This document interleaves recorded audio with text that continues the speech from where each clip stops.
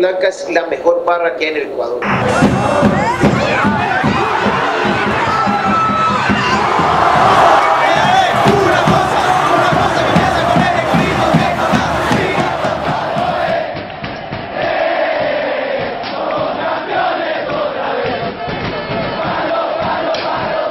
Nuestra pasión es el equipo, nuestra labor es en las gradas, nuestra visión es engrandecer al equipo blanco.